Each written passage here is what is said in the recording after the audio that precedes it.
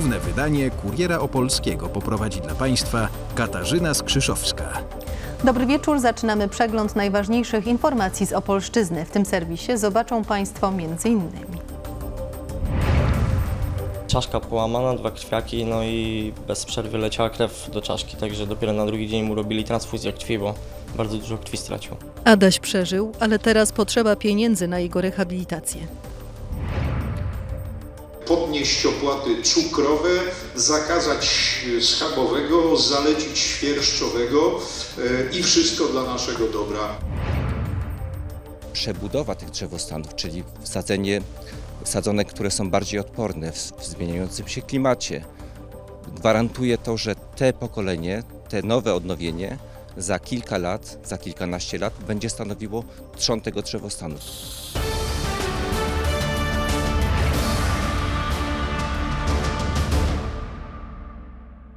84 lata temu, 17 września, na broniącą się przed niemiecką inwazją Polskę napadła Armia Czerwona. Było to przypieczętowanie paktu Ribbentrop-Mołotow i początek czwartego rozbioru naszego kraju. Minister Obrony Narodowej Mariusz Błaszczak udostępnił dziś szokujące dokumenty, które wskazują, że rząd Donalda Tuska planował poświęcić ziemię Polski Wschodniej na stracenie w razie ewentualnej napaści Rosji na Polskę. Piotr Bajor. Zdradziecka napaść Armii Czerwonej na Polskę 84 lata temu, 17 września, była przypieczętowaniem umowy zawartej między Niemcami a stalinowską Rosją.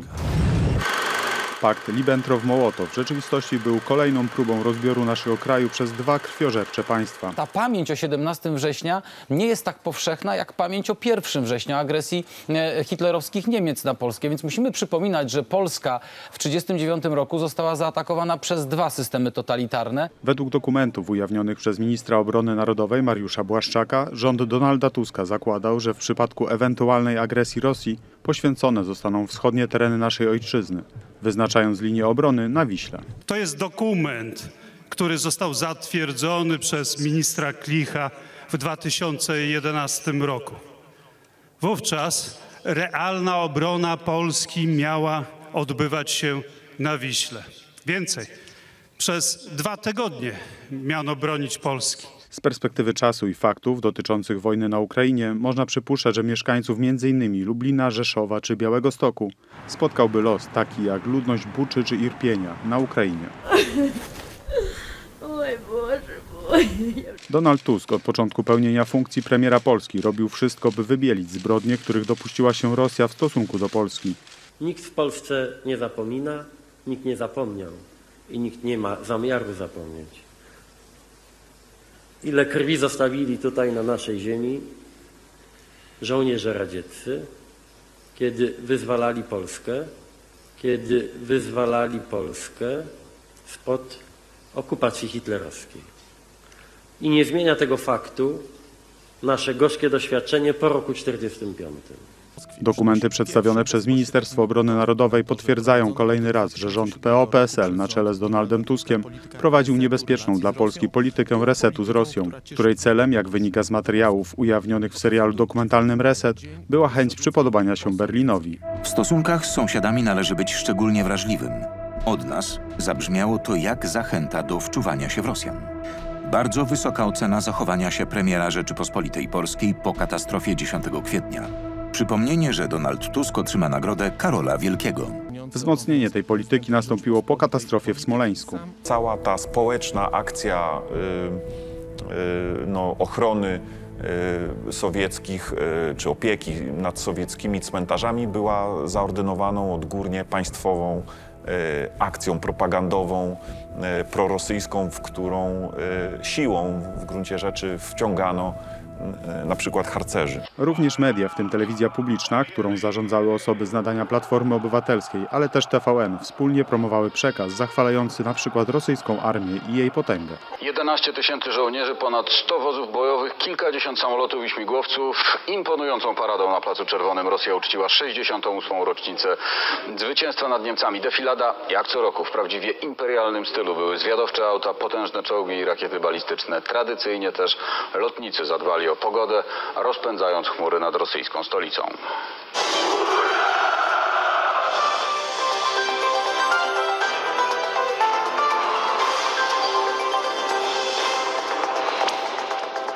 Armia w całej okazałości, tak Rosja świętuje 68. rocznicę zakończenia wojny. Z tą polityką podporządkowania się woli Berlina i Moskwy skończył w 2015 roku rząd Prawa i Sprawiedliwości, stawiając przede wszystkim na bezpieczeństwo naszej ojczyzny.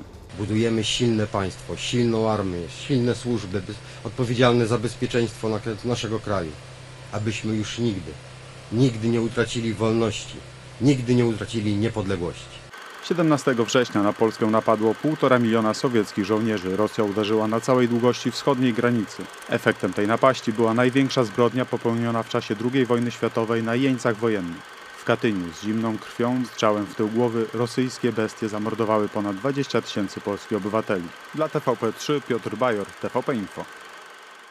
Rocznica napaści sowieckiej Rosji na Polskę czczona była dziś także na Opolszczyźnie. Mieszkańcy Kędzierzyna-Koźla oddali hołd bohaterom Wojska Polskiego, stawiającym w 1939 roku opór agresorom ze wschodu. Więcej o tym w materiale Jakuba Słupeckiego.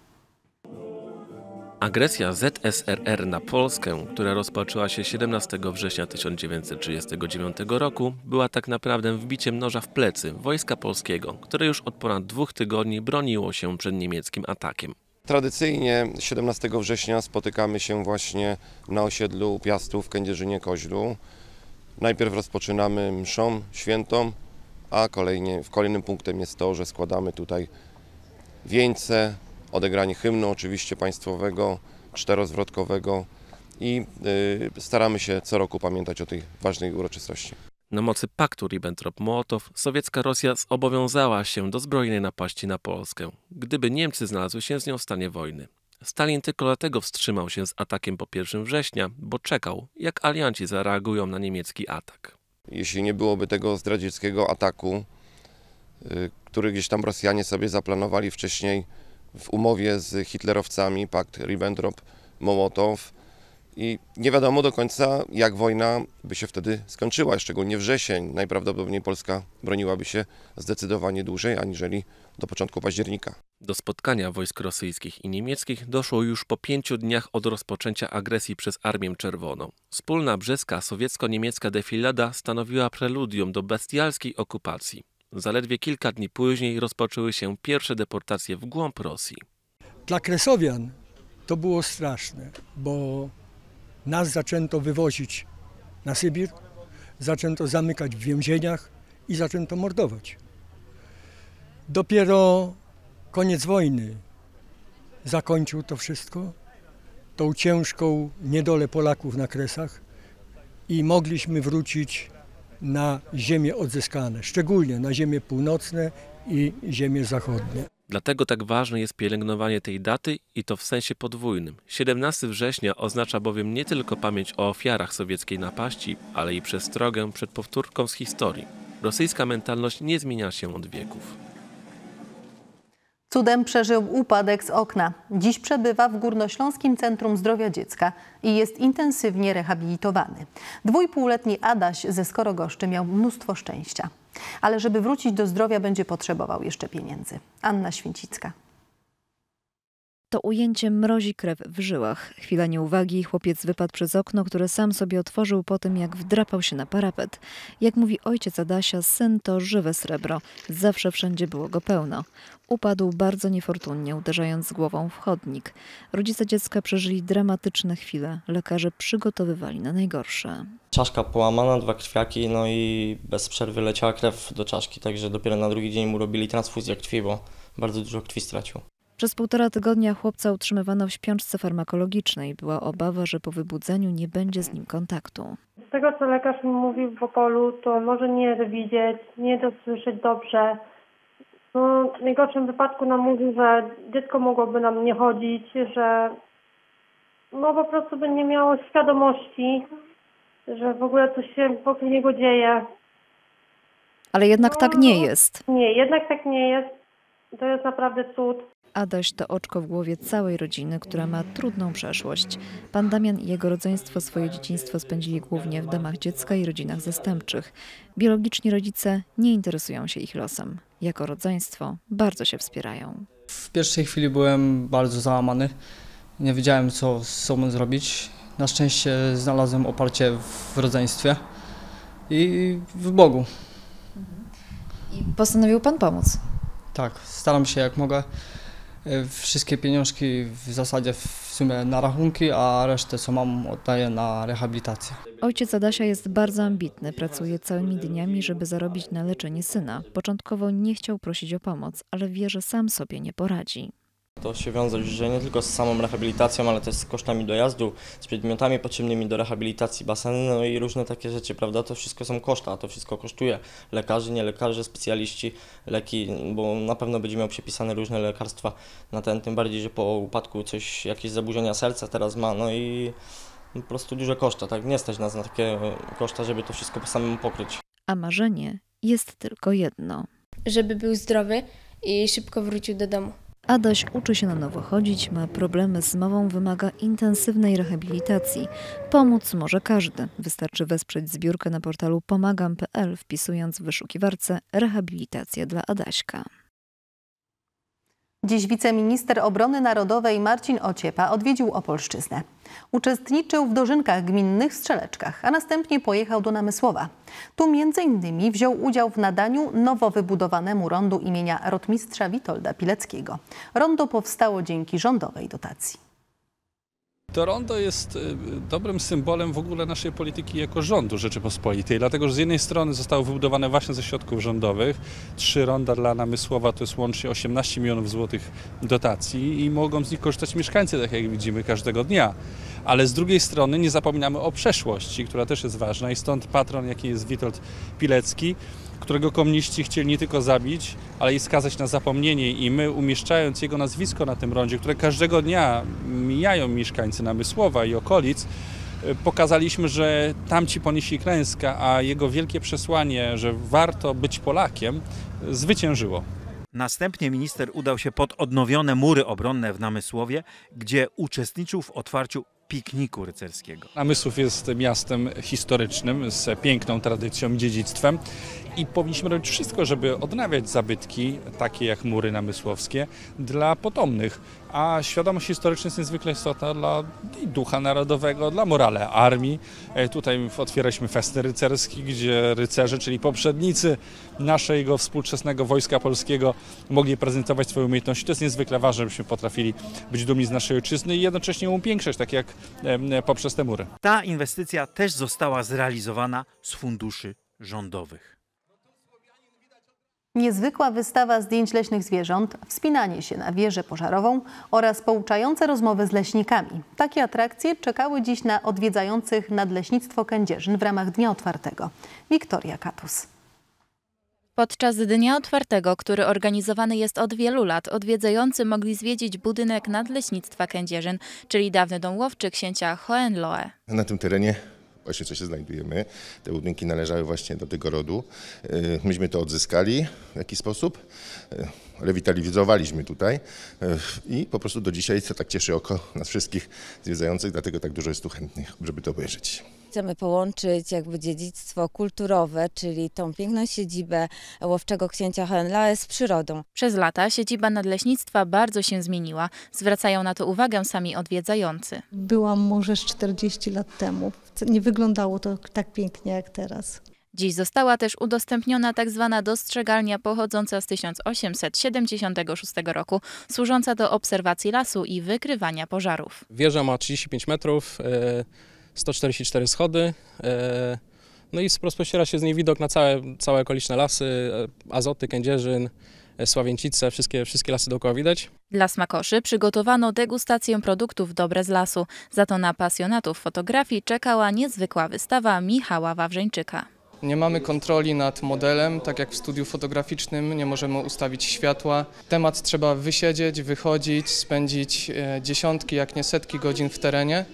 E, Nie mówiąc już o kilkugodzinnych przygotowywaniach się przed wyprawą, czyli cały sprzęt skompletować, poznać e, dany gatunek, jego miejsce zasiedlenia e, i wybrać też odpowiedni miesiąc, odpowiedni okres w całym roku. Wbrew podnoszonym ostatnio zarzutom opozycji, że rząd wycina masowo lasy i sprzedaje drewno do Chin, lasy państwowe dbają o bioróżnorodność zarządzanych przez siebie terenów i chronią je przed wieloma zagrożeniami, a wszystkie wycinki wynikają z wieloletnich planów i są natychmiast uzupełniane nowym pokoleniem lasu. Gdyby nie regularna, rozsądna wycinka, tysiące hektarów lasów iglastych po prostu by zgniły po przekroczeniu przez drzewa wieku rębnego. Przebudowa tych drzewostanów, czyli wsadzenie sadzonek, które są bardziej odporne w, w zmieniającym się klimacie. Gwarantuje to, że te pokolenie, te nowe odnowienie za kilka lat, za kilkanaście lat będzie stanowiło trzon tego drzewostanu, czyli ta trwałość lasu, to co nam najbardziej zależy, będzie będzie taką podstawą naszej gospodarki. Zwiedzający mogli dziś też porozmawiać z leśnikami, by lepiej poznać dziedzictwo narodowe, jakim są polskie lasy. Wiktoria Katus, Kurier Opolski.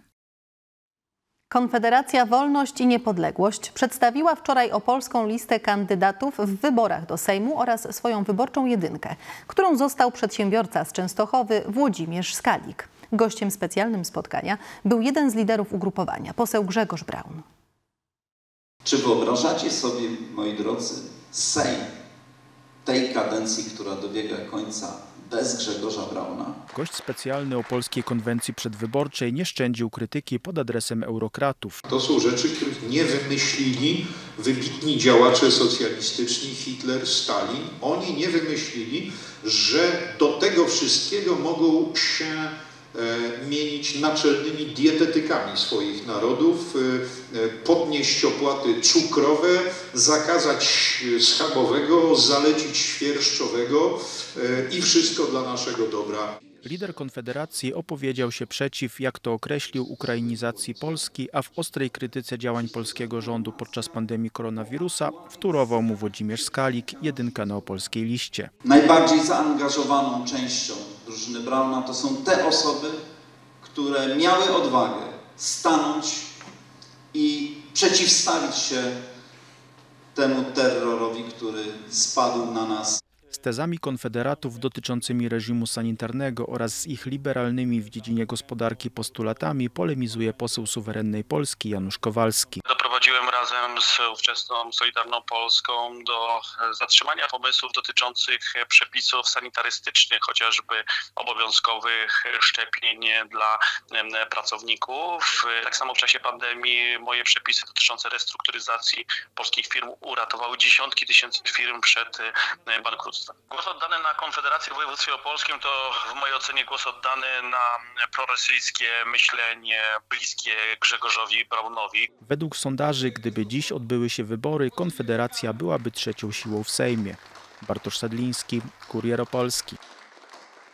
Dźwięki, smaki i tradycja, czyli kolejna czwarta już odsłona folk festiwalu, który promuje to, co w regionie najlepsze. W Dobrodzieniu, gdzie odbywa się to barwne wydarzenie, które TVP 3 Opole objęła patronatem, jest nasza reporterka Anna Święcicka.